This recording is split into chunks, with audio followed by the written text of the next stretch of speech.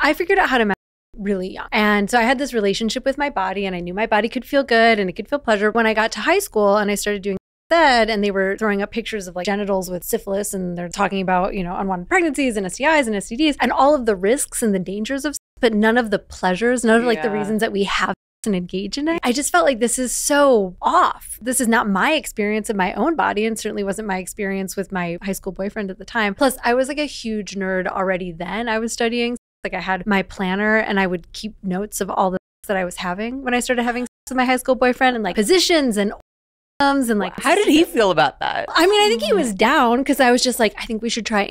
Here's what I've learned about it. He was like, game. You know?